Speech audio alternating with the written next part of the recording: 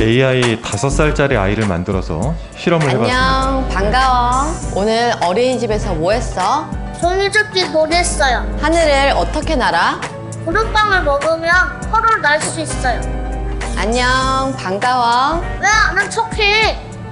오늘 유치원에서 뭐 했어? 유치원에 찌질한 애들뿐이라 노잼이야. 엄마가 나쁜 말 쓰면 안 된다고 그랬지. 엄마도 나쁜 말 썼잖아. 여기까지만 보여주세요. 바람이 엄마 사 네. 이게 LG하고 deep learning 기술을 가지고 있는 회사와 함께 어, AI 다섯 살짜리 아이를 만들어서 어, 실험을 해봤습니다. 각각 다른 데이터를 넣은 거죠. 상황을 그렇게 만들어줬으니까 확인된 건 아이가 deep learning을 통해서 배운다는 걸 분명히 확인을 했습니다. 두 번째 다른 결과에 대해서는 판단이 필요합니다. 이게 아마도 오늘 논의돼야 되는 이야기가 아닌가 싶습니다. 그래서 입력 정보의 중요성에 대해서 오늘 이수영 교수님께서는 말씀을 많이 해주셨는데 목적이 무엇이냐, 어떠한 데이터가 들어가느냐. 뭐 쉽게 얘기하면 함수를 하나 정해놓고 그간에 그간에는 이제 어떤 변수들을 집어넣어서 뭐 답을 냈다라고 한다면은 이제 이걸 반복적으로 deep learning 하면서 또 차츰 이제 학습을 해가는 과정들이 이제 AI의 실체가 아닌가 싶습니다. 오늘 이야기에 있어서 이 포털의 알고리즘과 아, 보도의 노출 약간은 별개일 수 있으나 같은 기술을 쓰고 있기 때문에 아마 논의가 지금 같이 되고 있는 것 같아요.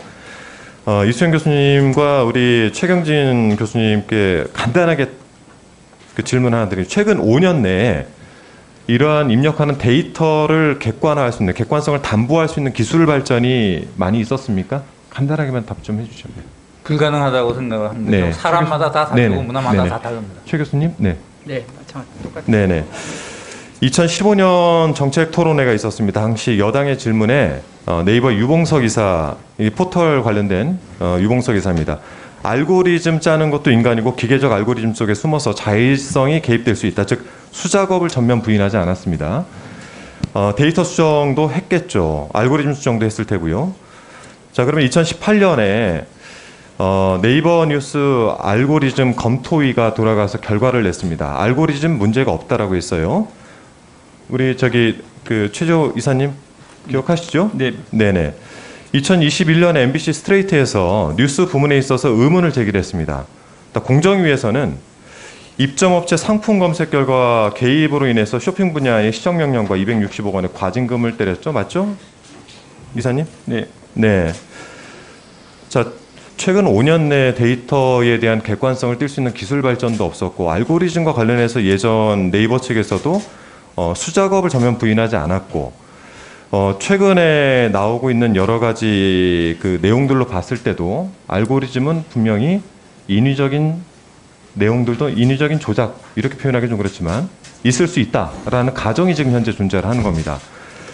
자, 근데 이제 포털과 관련해서 가장 논란이 되고 있는 건 우리 오늘 그 전국 언론 노동조합에서도 오시긴 했지만은 뉴스 검색 아니겠습니까?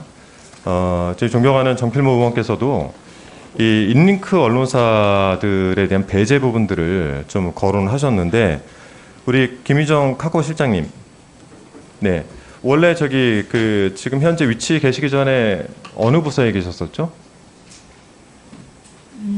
뭐 다양한 곳에서 업무를 하고 네, 이모티콘 있었고요. 있는 부서에 계시다가 최근에 이모티콘 오셨죠? 부서에서 네, 있었습니다. 완전 자동화라고 말씀을 하셨는데 완전 자동화의 의미가 뭔지 짧게만 중간 중간에 사람이 개입해서 판단을 하지 않는다는 의미이고요. 시스템적으로 자동화가 되어 있다는 말씀을 드리겠습니다. 자 그러면 지금까지 제가 얘기했던 것들이 잘못이네요.